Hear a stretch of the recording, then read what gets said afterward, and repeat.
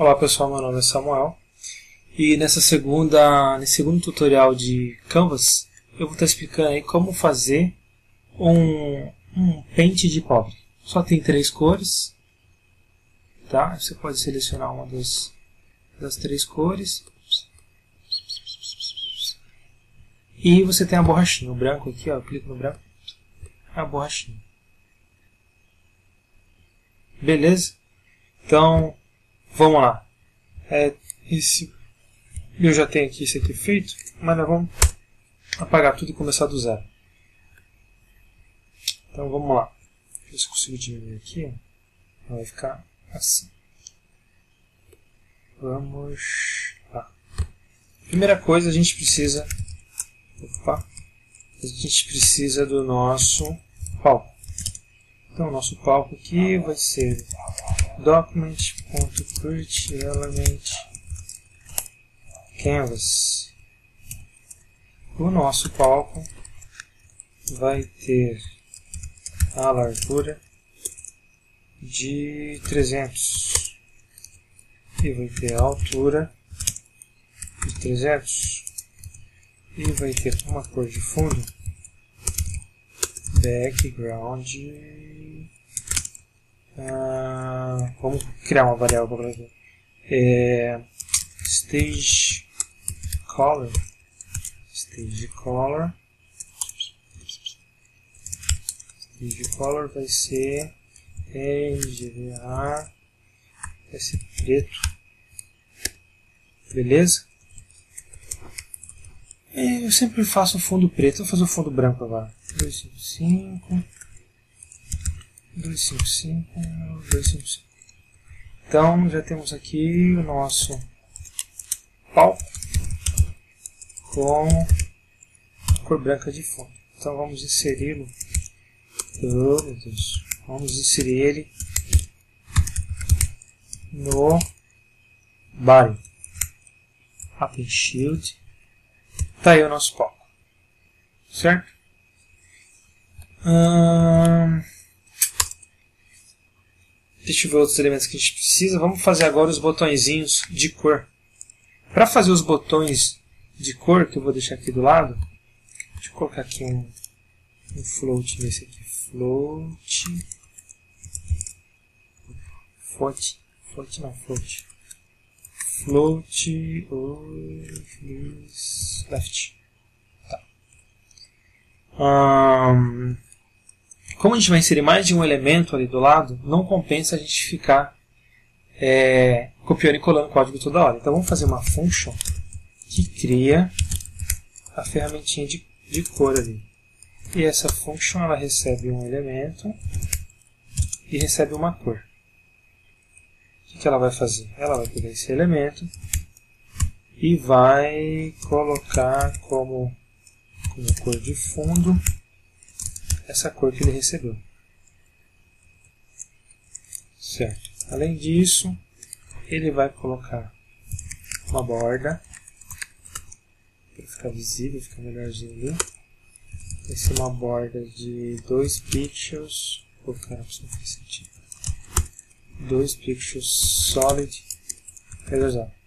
Uma bordinha preta. Aí ele vai ter um deixa ver aqui, vai ter 20 pixels de largura e 20 pixels aqui de altura. Beleza. Depois que eu criei tudo isso, essa é a minha função mesmo, pode ir lá no, no body dar um append shield element. Certo. Vou colocar um float right aqui. Será que vai ficar muito longe? Float right. Oh caramba. É que tá tarde e eu tô morrendo de sono. Aí eu fico fazendo besteira. Uh, right. Beleza. Então temos aqui a nossa função que vai criar nossos nossas ferramentinhas de cor, de cor. Então primeiro vamos criar as cores. Cor 1 e cor 2. Não precisa fazer assim. Né? Cor 1 é igual a vermelho e cor 2 é igual a amarelo. E nós vamos ter uma outra variável que vai ser a Active Color, que é a cor que está ativa no momento, que o valor inicial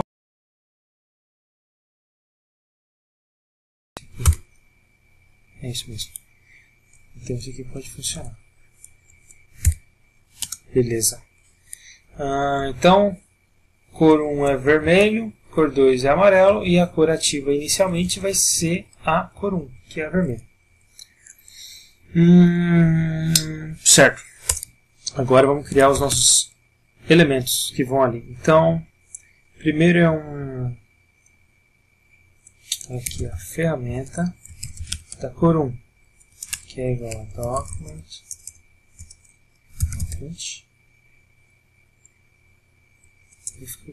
document document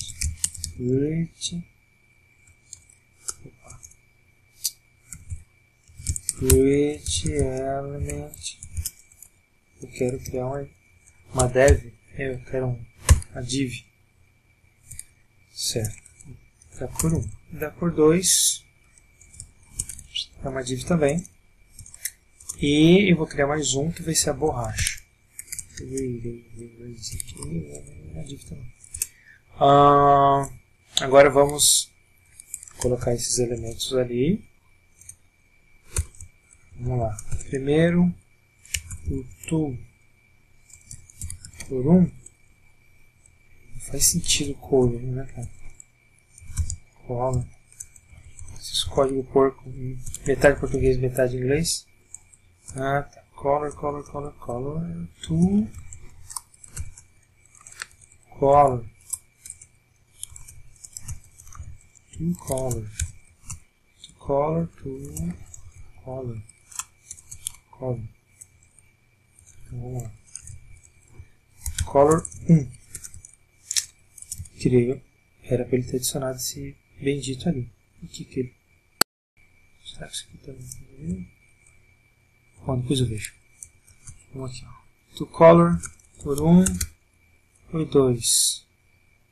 E a nossa borrachinha. Vou colocar aqui que ela vai ter a cor branca. Não faz sentido isso aqui também chamar de color porque eu usei a borracha. Então vamos chamar de insert tool. Pronto. Função de inserir a ferramenta.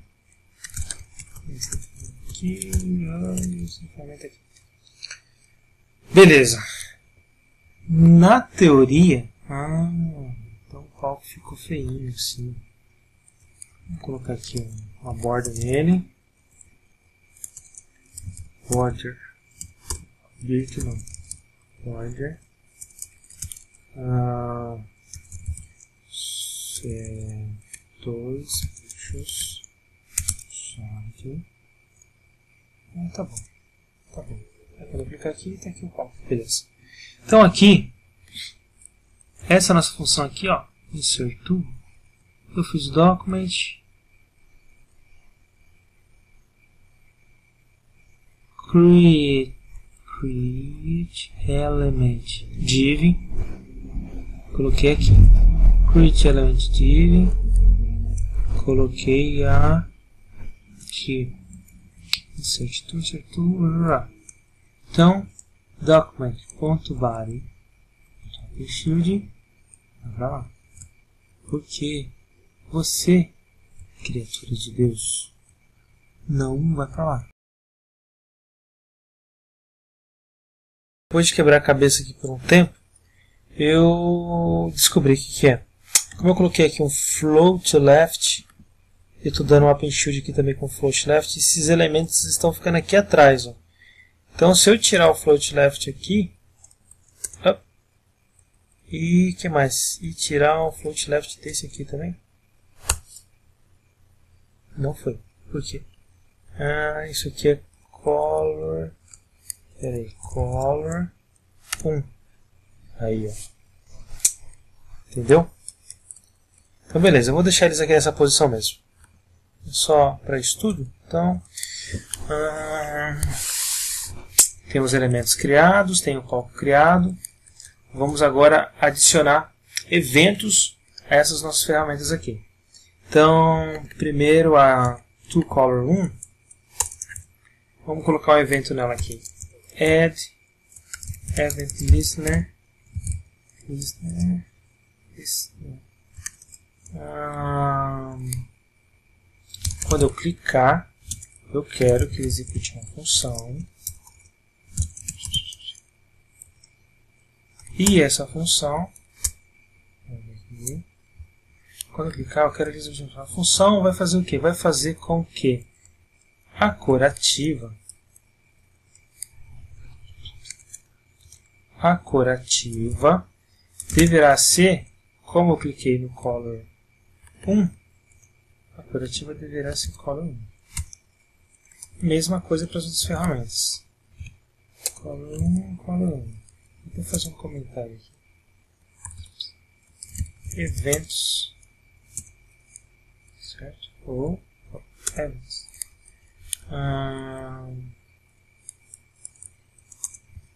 aqui Oh, caramba. Aqui são as ferramentas. Esse aqui é o palco. É, eu vou disponibilizar esse, esse código aí. Tá beleza, deixa isso aqui. Então vamos lá. Clicou no Color 2, vai colocar a cor 2 como ativo clicou no Erase, vai colocar a cor ativa aqui como a cor do fundo, a cor do stage, que é o branco, cor do stage. Ok? Então até aí tudo bem. Como é que a gente sabe se isso aqui está funcionando? Cada clique aqui, ó, a gente coloca um console.log. A gente vê a cor aqui, a Active Color.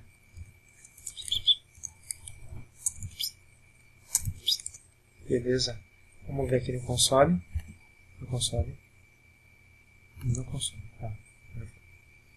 Deixa eu tirar o JavaScript. Aí a gente vê aqui. Se clicar no vermelho, red, yellow, e aqui é o RGBA do branco. Então está funcionando já os eventos. Vamos tirar do console.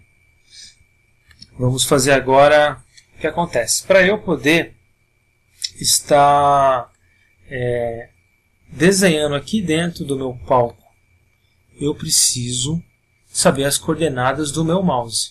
Sabendo as coordenadas do meu mouse, eu posso utilizar o recurso para de desenho de linha, tá? o stroke. Eu posso usar ele e aí conforme o mouse estiver passando pressionado, ele vai desenhando. Ok? Então como que eu faço isso? Primeiro vamos entender como conseguir a, a nossa coordenada exata dentro desse elemento, certo? Quando a gente vem aqui, ó, e vamos pegar, criar um outro elemento aqui dentro do stage, que o stage é esse elemento que acabou de sumir aqui. Mas é ele. Stage, esse aqui. Stage.add have listener vamos aqui, mouse move enquanto o mouse estiver se movendo, eu quero que você pegue o mouse aqui, objeto mouse, opa,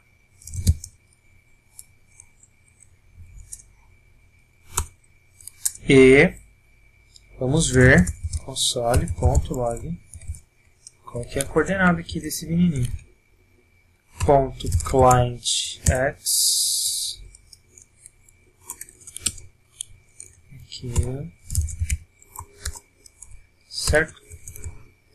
Beleza. Ah, certo. Console.log. Vamos ver aqui no console o que, que ele vai devolver para a gente. Tira o JavaScript, coloca o console. Opa, deu um de mensagem. Então vamos lá. O ponto zero de um elemento, coordenada x0, y0, é exatamente o início do elemento. Certo? Aqui, ó, bem aqui. Ó. Pá, onde está meu mouse? Ó? Tá vendo que ele não me retorna um número perto de zero, ele sempre me retorna 7, 8 como número inicial. Por quê? Quando a gente está movendo o mouse aqui eu adiciono, uh, eu adicionei aqui no JavaScript esse evento, embora esse evento esteja dentro do estágio, aqui do stage, ele me traz a coordenada do mouse relativa ao body e não ao elemento stage. Como é que eu faço para pegar relativo ao documento stage? Eu tenho que pegar as informações de posição dele, desse elemento. Pegando as informações de posição dele, eu subtraio com a coordenada que veio aqui para mim do mouse. E aí eu vou ter exatamente a coordenada relativa dentro do estágio e não dentro do body, entendeu? Então vamos lá. Vamos fazer uma função aqui que traz para gente, que retorna para gente, function get mouse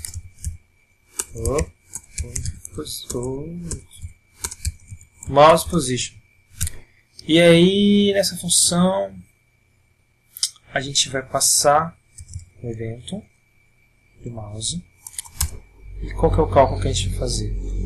A gente vai pegar aqui stage, todos os dados do stage aqui. A gente coloca stage, ponto, get, bounding, client, acho que é rect, será que é isso? Será que é isso? Deixa eu ver se é isso. Não tenho certeza. console.log ponto top.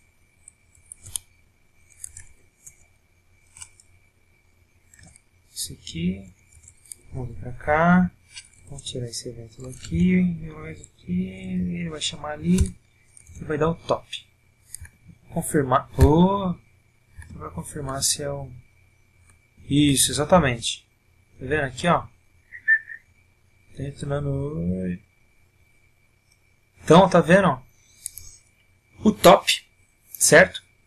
Position top aqui desse elemento, ó, ele está a 7.98 pixels de distância e aqui em altura. Entendeu? Deve estar a mesma coisa aqui de, de largura também. Deve estar uns 8, 7. Então vamos lá. Então a gente já tem todas as informações de posição do nosso estágio do nosso stage aqui, do nosso palco. Então, voltando aqui. Os dados do nosso palco. Vamos retornar nessa função x y. Então, eu sei a posição, tá? eu sei a posição do x, mas ela é relativa ao body. Para eu ter a posição dela relativa ao ao meu stage, eu quero que subtraia de left. Certo? Para eu ter a posição exata de y, opa, de y, eu quero que ele subtraia de top. E ele vai me trazer as coordenadas certinhas. Vamos testar aqui. console.log ev.x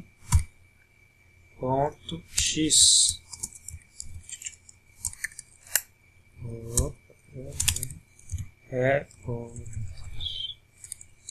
ev.y beleza. Tira o javascript coloca aqui o console então vamos ver se aqui no início de tudo ele ó, não está funcionando tá vendo? olha só tá ah, por que, que você não está funcionando? Ah tá. Lógico cabeça. É, get mouse position.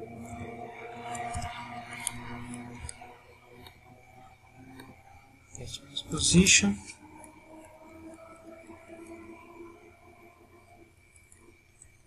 Get mouse position. Será que isso aqui funciona no JavaScript? Ah, com certeza não. Então vamos jogar esse valor. Uma variável aqui a lá.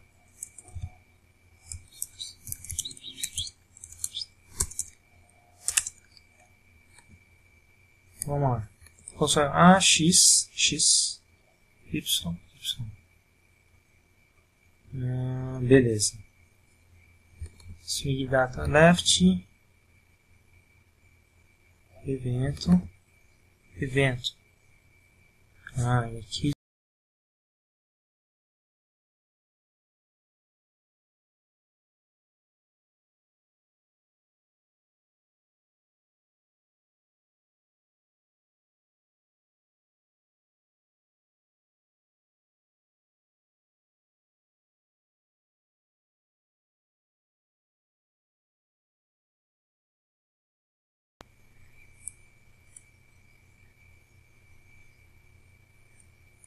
Ah, o filho da mãe aqui, olha só.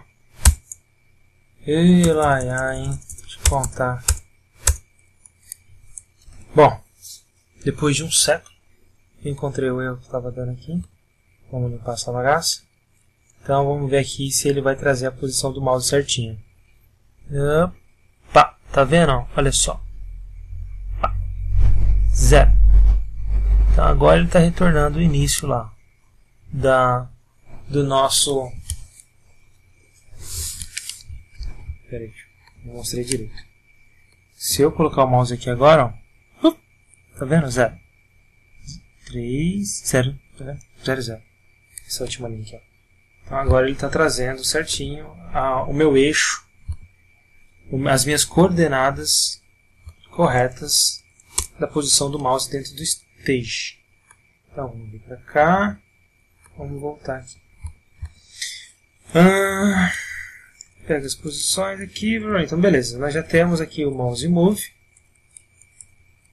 Conforme o mouse for se, movendo, ele vai pegar na posição da onde está o mouse. Outro evento que a gente precisa adicionar aqui é o evento de mouse down.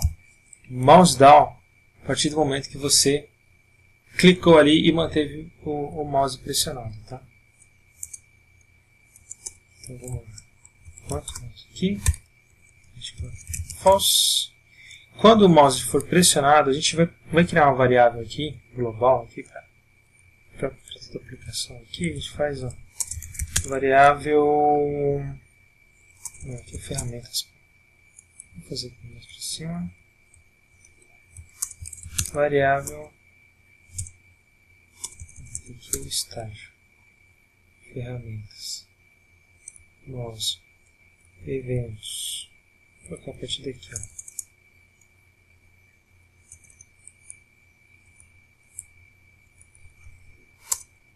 Aqui no logos.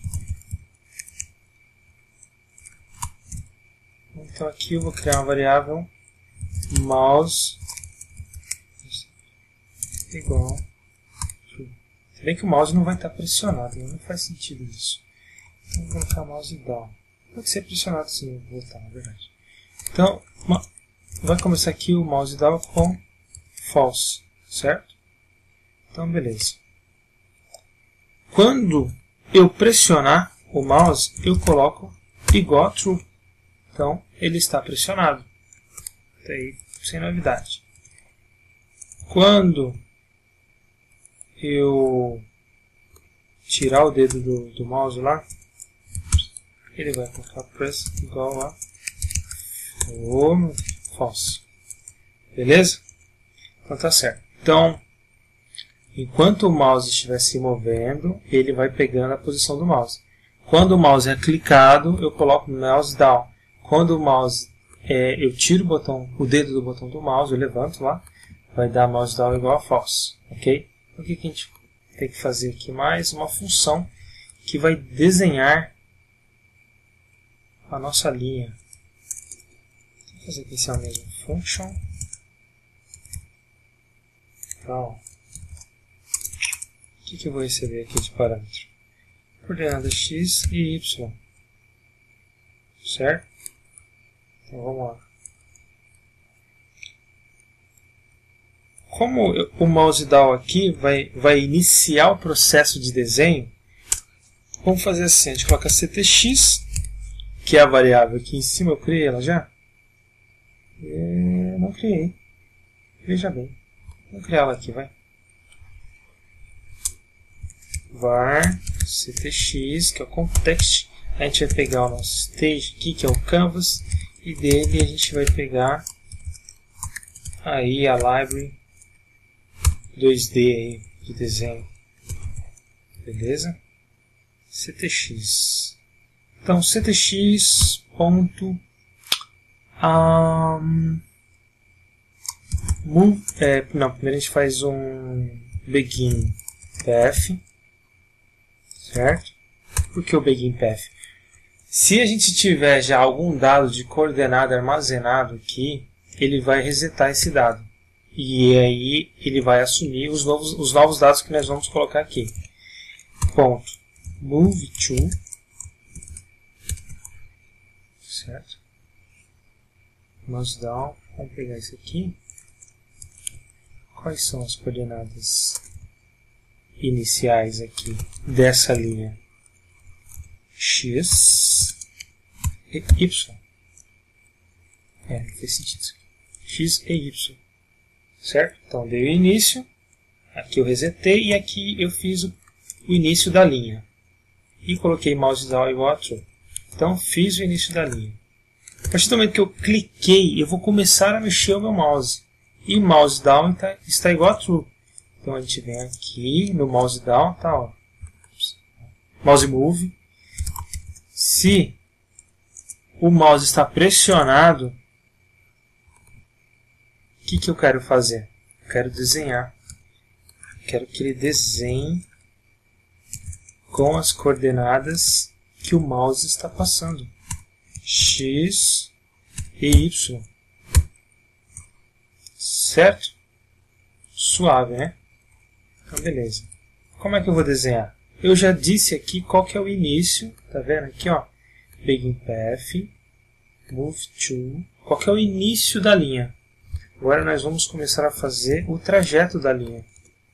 Como é que eu faço o trajeto da linha? Eu faço line to. Line to vai receber x e y. E aí ele vai dando continuidade nessa linha que foi iniciada aqui.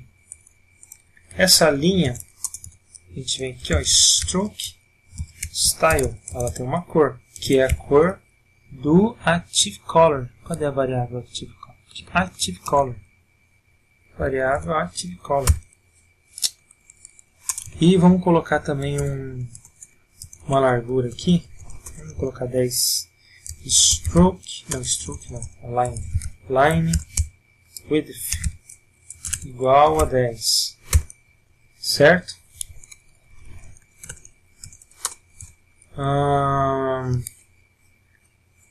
e aí eu desenho stroke. Ver se falta alguma coisa aqui. Então, eu iniciei aqui, beleza, resetei, iniciei a linha nesse ponto, mouse down igual a true. Down igual a true. Então desenho. Ele vai chegar aqui, vai continuar do ponto. Iniciou aqui. Vai para esse, para esse lugar agora. Conforme for mexendo o mouse, ele vai fazendo line 2. Vai deixar construir a linha. Essa linha vai ter a cor da variável active color que foi alterada Vendo aqui os Active Color, Active Color, Active Color, Active Color. Foi alterado quando a gente clicou aqui. Certo? Beleza. Qual que é a largura da minha linha? É 10. Beleza. O que, que você faz agora? Desenha ela para mim. É isso aí. Vamos testar aqui? Vamos ver se funcionar de cara. Isso é uma cagada gigante. Vermelho. E funcionou. Vermelho. Eu quero amarelo. Amarelo. Ixi, como assim, João? Vermelho. Ah, não, tá certo. É que eu tava com ele pressionado ainda. Então, amarelo. E apagar. Olha só que beleza. E se a gente quiser fazer maiorzinho aqui, ó. Vermelho. Ah, tem um detalhe. Ó, tá vendo que a linha, olha, tá, ela não tá arredondadinha, ó. Tá fazendo um cubo aqui, um quadrado feio pra caramba. A gente vem aqui no line. Line. E agora? Qual que é? qual que era. Line, line cap. Line cap. Que é o estilo da linha que a gente quer deixar ele de contorno, né? A gente quer round. A gente quer ela redondinha. Vamos lá, vermelhinho. E aí, ó. Bem melhor, né?